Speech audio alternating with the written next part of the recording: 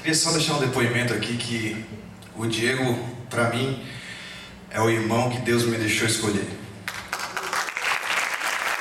E, e é muito legal assim a gente estar tá fazendo esse trabalho todo aqui, é, esse sonho de a gente apresentar o nosso trabalho musical e começou ali naqueles papos, conversas à noite, tudo em casa, é, na faculdade e, tá me deixando muito emocionado assim, tá vendo toda essa história aqui. Cada música dessa representa uma história da, minha vida.